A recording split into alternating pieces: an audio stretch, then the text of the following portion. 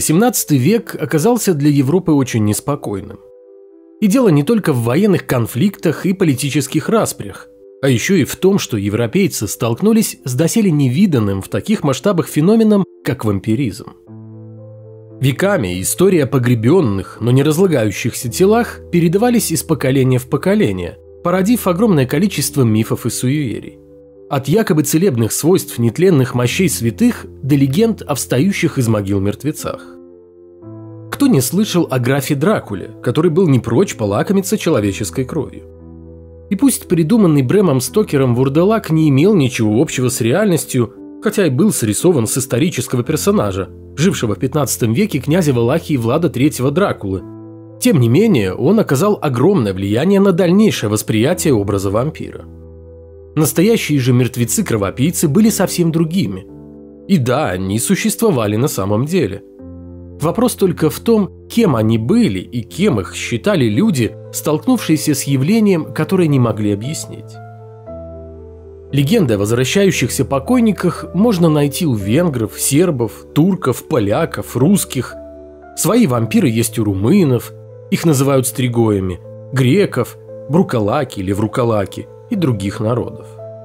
А вот отдаленно напоминающие классических вампиров немецкие нахцереры никогда не покидали могил и, лежа в гробу, жевали собственный саван или даже самих себя. Люди верили, что по ночам вампиры выходят из могил, чтобы нападать на людей и животных и пить их кровь.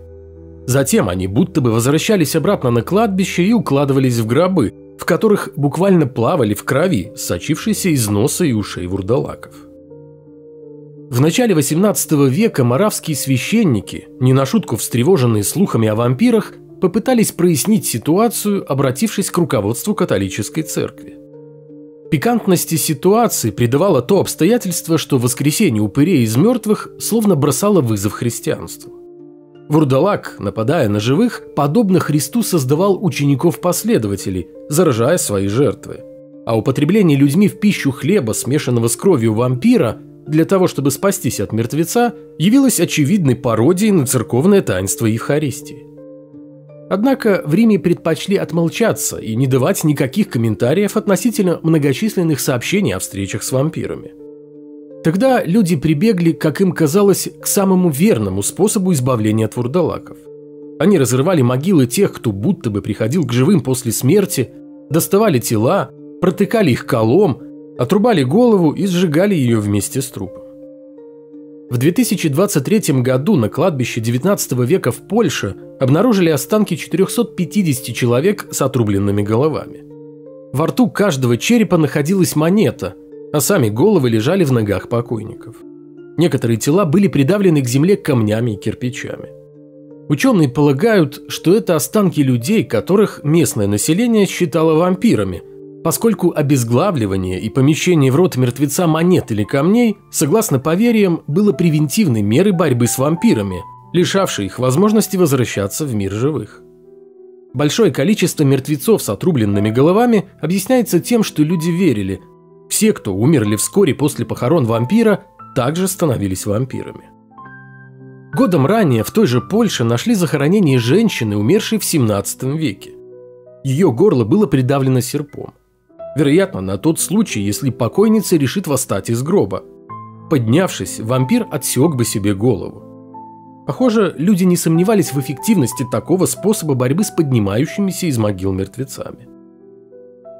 Несмотря на сомнения ученых и откровенные насмешки самого Вольтера, который ни на грамм не верил рассказам о встречах с вампирами, приходивших в основном с территорий современных Сербии, Румынии, Венгрии, Чехии и Польши, и шутил, что чем больше вампиров уничтожали, тем больше их становилось, ситуация с мертвецами, нападавшими на живых, начала выходить из-под контроля и приносить немало проблем представителям власти. Пик вампирической истерии пришелся на первую половину 30-х годов 18 столетия, когда о вампирах увлеченно судачили в светских салонах, им посвящали научные и богословские трактаты, о них писали без устали газеты и журналы. Описания вампира почти всегда были одинаковыми и до дрожи пугали даже тех, кто не особо верил рассказам о встающих из могил покойниках. Когда поднимали крышку гроба, мертвец, ко всеобщему ужасу присутствующих на эксгумации, начинал шевелить руками и ногами, издавать ужасные вопли, а из его рта и ушей текла кровь. Тело вампира не разлагалось и в некоторых случаях выглядело раздутым от переполнявшей его крови. Самыми известными случаями вампиризма можно считать истории серба Петра Благоевича, которого впервые официально назвали вампиром, серба Арнаута Паоле, державшего в страхе целую деревню, и еще одного серба, Савы Савановича, в 2010 году ставшего символом города Валева. В 1725 году, спустя две недели после похорон, Петр Благоевич повадился приходить к своим родственникам. Визиты Вурдалака происходили ночью во сне. Покойник душил свои жертвы и пил их кровь, после чего люди погибали в течение суток, сгорали на глазах будто от какой-то болезни. Таким образом, за 8 дней умерло 9 жителей деревни Кизаловы. В своем докладе камерал-провизор в Градежском районе Моравии Фромбольд писал, что, умирая, жертвы Благоевича рассказывали, как тот являлся им во сне, ложился на них и давил таким образом, что они поневоле лишались дыхания. Жена Благоевича вынуждена была бежать из деревни после того, как к ней, опять-таки во сне, явился покойный муж и потребовал вернуть ему башмаки. Как сообщал Фромбольд, поскольку у подобных особ, каковых именуют они вампирами, имеются различные знаки, как то тело их не тлеет, кожа же, волосы, борода и ногти растут, как можно увидеть, то подданные единодушно постановили вырыть могилу Петра Благоевича и удостовериться, будут ли найдены на нем упомянутые знаки. На эксгумации останков Вурделака присутствовали приходской священник и сам Фромбольд, безуспешно пытавшийся облагоразумить жителей деревни. Последние обратились к представителю власти с просьбой разрешить им разрыть могилу Благоевича. Однако добавили, что в случае отказа настолько все были напуганы внезапными смертями – они просто покинут деревню и больше никогда туда не вернутся.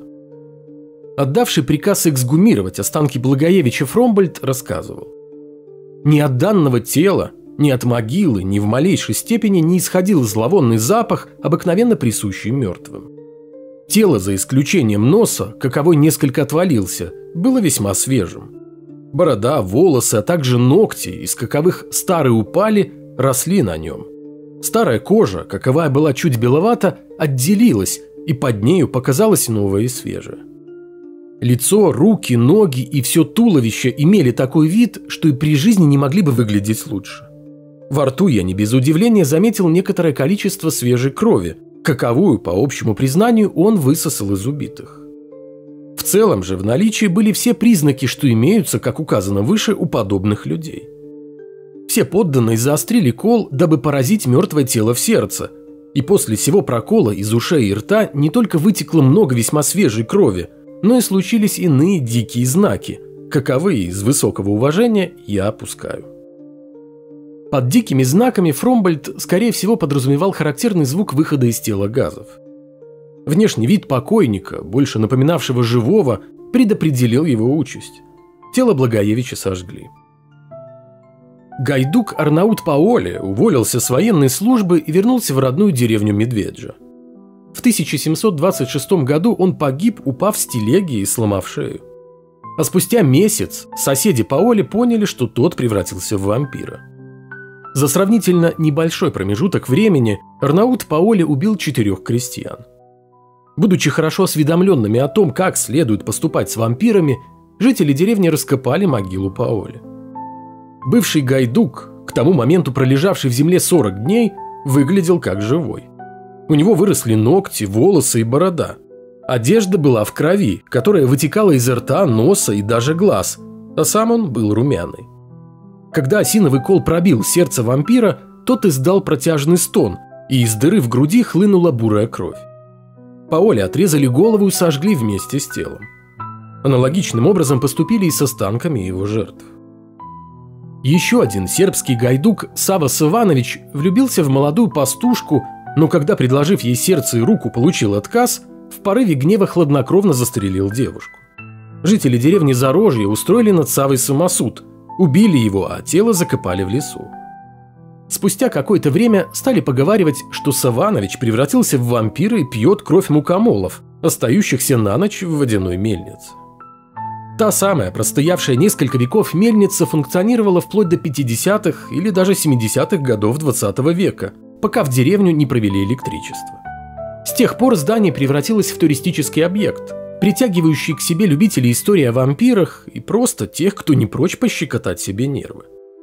В 2012 году мельница Савановича обрушилась, и от нее остались лишь каменный фундамент и три стены – После этого суеверные жители близлежащих деревень стали поговаривать о том, что народный вампир подыскивает себе новое жилье. А это значит, что нужно запасаться чесноком. Впрочем, владелец злополучной мельницы рассказывал, как сам несколько раз ночевал внутри старой постройки, однако вампира никогда не видел. Вампирическая истерия, будоражившая Европу более трех столетий назад, не обошла стороной и земли современной Беларуси – тогдашнего Великого княжества Литовского. Вскоре после расправы над сербским вампиром Арнаутом Паоле невероятными тиражами стали выходить книги о вампиризме. А 1732 год даже нарекли годом Великой вампирической паники. Примерно в то же время познакомиться с феноменом вампиризма пришлось жителям местечка Бытень, Слонимского повета Новогрудского воеводства, ныне Брестская область Беларусь. Случай этот был задокументирован монахами Базилианского монастыря. В 1726 году скончался бытинский подстароста Лобачевский. Несмотря на засвидетельствованный факт смерти, тело чиновника на протяжении нескольких дней оставалось теплым. Лобачевского похоронили, однако, как отмечали монахи, из перебитой лопатой шеи кровь сочилась, как из быка. Зная легенды о вампирах, жители Бытиня приготовились к наихудшему сценарию. В то же время перепуганные до смерти насельники монастыря решили не дожидаться возвращения покойника и на следующий день после похорон откопали труп. Разрыв могилу, монахи увидели лежащего в гробу Лобачевского, который никак не походил на покойника и все еще оставался теплым, а из его шеи и головы продолжала течь кровь. Викарий провел над телом обряд экзорцизма, после чего останки Лобачевского сожгли. Правда, не без трудностей. В какой-то момент из трупа брызнула жидкость и залила пламя. Когда костер почти потух, среди золы обнаружили нетронутое пламенем сердце вампира. Монахи рассказывали, что при осмотре сердце внезапно взорвалось, словно в нем был порох, обдав присутствовавших яркими искрами. И только после этого сгорело полностью. Массовая истерия по поводу вампиров завершилась к середине 18 века. К этому времени со своим отношением к вампирам определилась католическая церковь. Папа Римский Бенедикт XIV заявил, что вампиры являются ложными созданиями человеческой фантазии, а история о них – суеверием, у истоков которого стоят священники, распространяющие страшилки о вурдалаках, чтобы убедить легковерное население щедро платить им за экзорцизмы и мессы. Чуть позже придворный врач австрийской императрицы Марии Терезии Герард ван Свитон поставил жирную точку в спорах о реальности вампиров, наводивших ужас на жителей европейских деревень. По личному распоряжению Марии Терезии Иван Свитон изучил доклады медиков, сообщавших с мест о случаях вампиризма, и написал заключение, в котором назвал веру в существование вурдалаков суеверием варварских и невежественных народов. Врач был хорошо осведомлен о том, что происходит с телом человека после смерти – и поэтому его не особо удивили описания румяных и упитанных вампиров.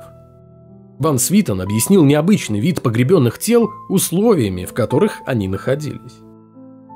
Сохранность трупа, по мнению австрийского врача, объяснялась недостатком кислорода, из-за чего процесс разложения существенно замедлялся.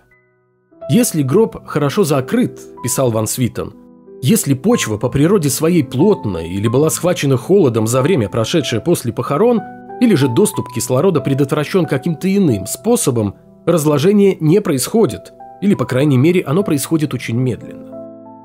Вместе с тем Ван Свитон предположил, что случаи массовых смертей были вызваны эпидемиями, а вовсе не деятельностью мифических вампиров. Если человек видел сны, в которых его недавно погребенный родственник или сосед норовил выпить у него кровь, а также страдал от сонного паралича, мышечной слабости, которая зачастую сопровождается яркими галлюцинациями, связанными с присутствием в комнате постороннего человека, то неудивительно, что, совмещая все эти явления с популярными легендами о покойниках-кровопийцах, кто-то, обладая богатым воображением, действительно верил в то, что смерть от туберкулеза или других болезней напрямую связаны с вампиром. Придворный врач Марии Терези не сомневался в том, что некоторые детали истории о вампирах были сильно преувеличены. Так, например, палач, расчленявший выкопанные трупы упырей, рассказывал, как из них в огромном количестве текла кровь. Однако на допросе под присягой тот же палач признался, что вытекшей крови набралась бы примерно ложка. Вместе с тем, опрошенные очевидцы визитов вампиров вовсе не утверждали, что мертвецы лично посещали живых. Речь идет о том, что люди ощущали гнет, испытывали тоску, от которой клонило в сон, писал Ван Свитон. По его мнению, удушье, которое напрямую связывали с действиями восставшего из могилы мертвеца, было вызвано легочными заболеваниями, которыми страдали жертвы вурдалака. В 1755 году Мария Терезия официально запретила осквернять тела умерших и тем самым объявила вне закона традиционную практику расправ над предполагаемыми вампирами. Рассказывая историю селесского вампира Иоганна Кунца, который терроризировал деревню Пендж, английский философ 17 века Генри Мор включил в нее не только откровенные небылицы, но и подробности, характерные для других, в том числе и более поздних случаев вампиризма. Нетронутое разложением тела упыря, подвижность его суставов и обильное кровотечение из носа и ушей. Описав все это, Мор заканчивал свое повествование такими словами – Должен признаться, что я никак не могу догадаться и даже представить себе, какую увертку или объяснение может измыслить атеист, столкнувшийся со столь ясными и убедительными доводами. Несмотря на ту уверенность, с какой Генри Мор, как ему казалось, раз и навсегда расправился со скептиками, не знающими Бога и что-либо еще кроме материального мира, мы все же попробуем дать рациональное объяснение феномену вампиризма. И начать нужно с того, что вампиры далеко не всегда избегали посмертного разложения. Французский ботаник Жозеф де Турнифор, путешествовавший по Ближнему Востоку в начале XVIII века, оказался свидетелем эксгумации трупа Брукалака на греческом острове Милос. По какой-то причине вампир не докучал только местному консулу. Все остальные жители острова панически боялись наступления ночи, когда, как они считали, пробуждался Брукалак – этот факт доказывает только печальное состояние умственного развития островитян, писал Турнифор.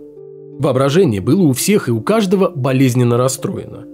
Целые семейства оставляли свои дома и уносили постели на край города для ночлега. Наступление каждой ночи встречаемо было всеобщим плачем.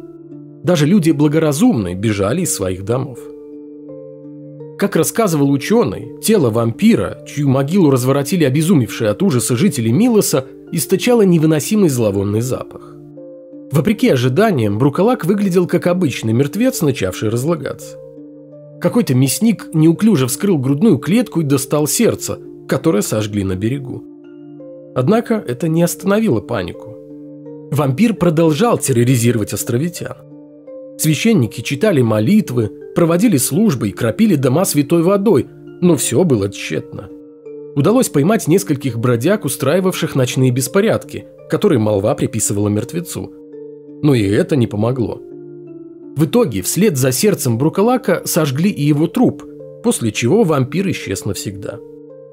Другими словами, был совершен ритуал, который сумел успокоить жителей острова и вернуть их к привычной жизни. В официальных отчетах о вскрытии могил вампиров Часто говорилось о том, что мертвец в буквальном смысле плавал в заполненном кровью гробу. Все дело в том, что когда труп начинает гнить, кожа отделяется, образуя пузыри. Позже, когда они лопаются, из них вытекает гнилостная жидкость темно-красного или коричнево-красного цвета. Зрелище не из приятных, и глядя на это, создается впечатление, что разлагающийся труп плавает в крови, хотя эта жидкость вовсе не кровь. Когда вскрывали гроб и протыкали грудь вампира осиновым колом, тот якобы кричал и даже махал руками. Скопившиеся в результате разложения газы покидают тело через дыхательные пути, воздействуя на голосовые связки и издавая стоны, вздохи и другие похожие звуки.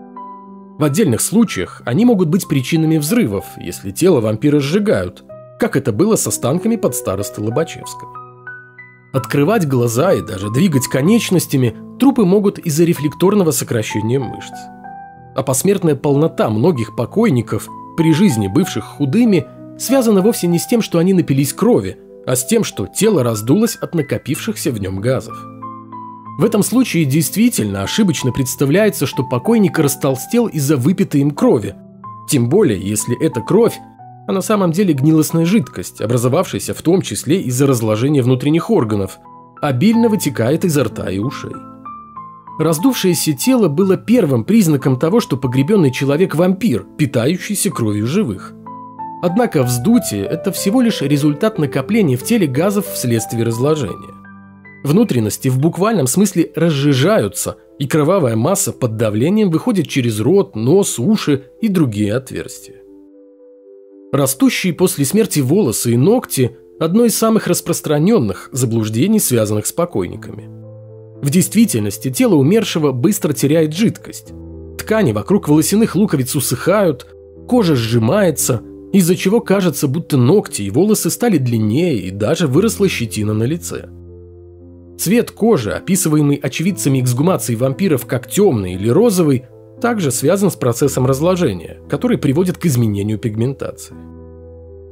Впечатляющие находки, совершаемые во время эксгумаций, перевернутые в гробах тела, некоторые с разбитыми головами, сбитыми пальцами и вырванными волосами, послужили источником не только легенд об оживших мертвецах, но и коллективного ужаса, который охватил население Европы на волне слухов о вурдалаках.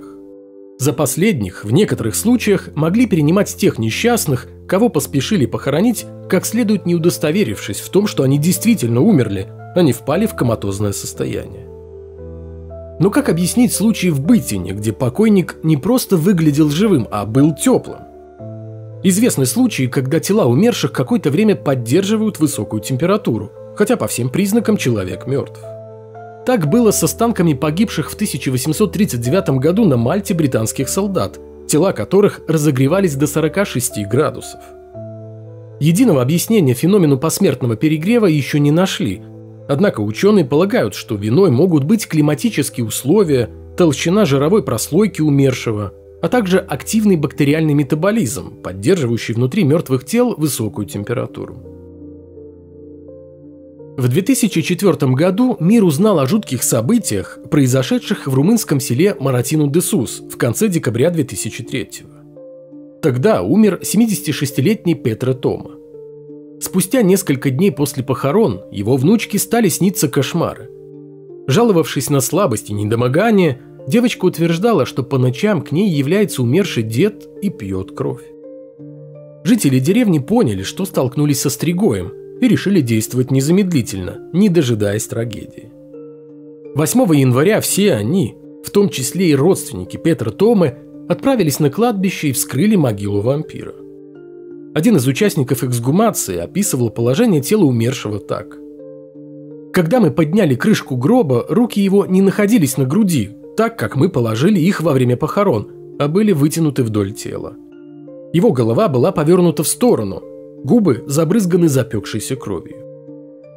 Со стригоем поступили согласно традиции. С помощью вил мужчины вскрыли грудную клетку покойника и извлекли сердце, которое затем отнесли к ближайшему перекрестку и сожгли. Его тело расслабилось, и мы слышали, как он вздыхает, рассказывали очевидцы. Пепел растворили в воде и дали выпить заболевшей внучке вампира. На утро та почувствовала себя лучше. В 1973 году в английском городе Стокон-Трент умер 68-летний эмигрант из Польши Диметриус Мычура. Обстоятельства его смерти были очень странными. Мычура скончался, подавившись головкой чеснока, которым была увешана вся его квартира. Мужчина считал, что его окружают вампиры, потому использовал для защиты от них чеснок, перец и соль. Готовясь ко сну, Мычура положил головку чеснока в рот и подавился. Смерть признали несчастным случаем. И это, вероятно, далеко не первая гибель человека, правда не от рук вампира, но совершенно точно из-за веры в реальность упырей и в то, что они могут причинить человеку вред.